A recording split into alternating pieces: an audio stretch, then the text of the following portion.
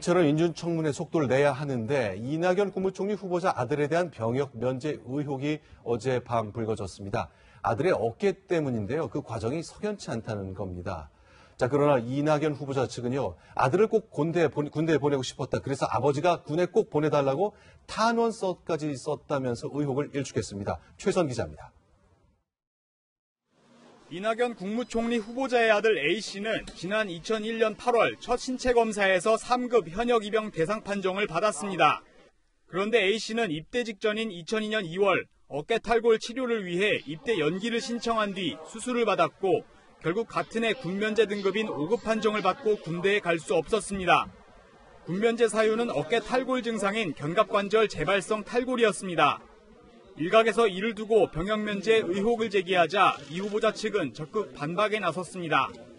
아들을 군대에 보내기 위해 당시 병무청장에게 보낸 탄원서를 공개한 겁니다. 탄원서에는 아들이 현역으로 국방의 의무를 이행할 수 있도록 선처해달라며 현역이 어렵다면 공익근무 요원으로라도 복무할 수 있도록 해달라고 적었습니다.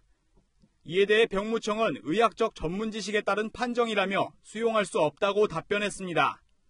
이 후보자 측은 이 같은 관련 자료를 언론에 배포하며 불법적 요소는 전혀 없었다고 거듭 강조했습니다.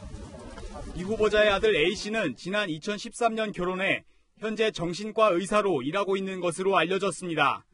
채널A 뉴스 최선입니다.